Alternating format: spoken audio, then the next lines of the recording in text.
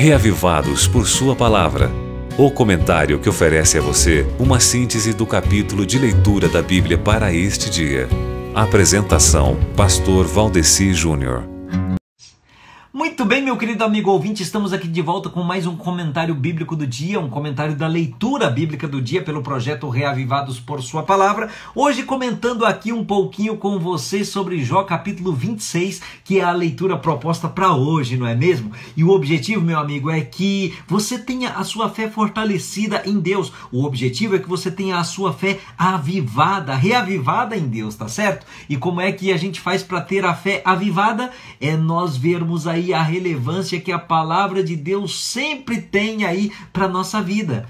E isso é possível, é claro, fazendo a leitura bíblica. Você quer ver uma relevância? É nós podermos ver, por exemplo, uma antecipação científica da Bíblia. Mas como assim? Ciência é, é uma questão de fé? Olha, quando nós vemos que a Bíblia e a ciência podem andar juntas, a nossa fé fortalece muito mais. Nós podemos ter a nossa fé fortalecida ao olharmos para a ciência e vermos as obras de Deus. E nós podemos ter a fé fortalecida também ao olharmos para a Bíblia e ouvirmos a palavra de Deus. Agora, quando vemos a palavra de Deus, quando ouvimos a palavra de Deus sendo confirmada pelas obras de Deus, então a nossa fé se fortalece muito mais. Bom, Indo agora ao ponto aí, falando sobre os fatos científicos da Bíblia, nós ah, temos hoje em Jó capítulo 26 uma antecipação científica da Bíblia falando da posição da Terra no espaço. Sim, meu amigo, em um tempo em que se achava que a Terra estava situada em cima de um grande animal gigante, né? a Bíblia já falava da posição da Terra no espaço. Dê uma olhadinha aí em Jó capítulo 26, verso 7,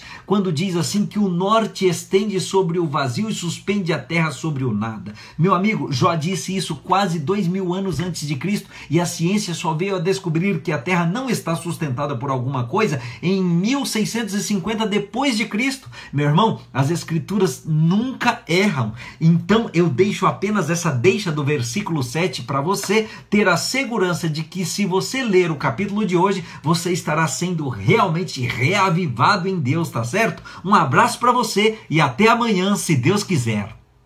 Ouviu Reavivados por Sua Palavra, com o pastor Valdeci Júnior.